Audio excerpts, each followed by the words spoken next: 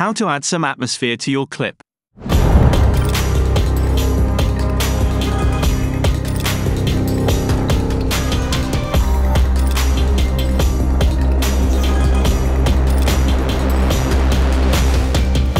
Today's video is sponsored by Tucker Carlson.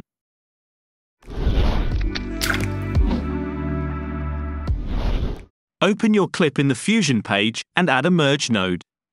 Bring a Luma keyer in empty space, connect your clip to the Luma node and drag it to the left viewer.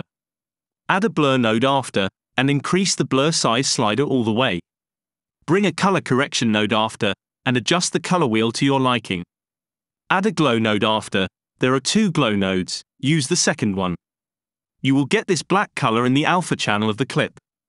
Check the alpha limits effect box. Bring down the shine threshold and adjust the spread slider to your liking. Connect the glow node to the merge as a foreground. Select the merge node, increase the size, and slightly move the center position. If you like this clip, subscribe to this channel. If you didn't, subscribe and close your eyes.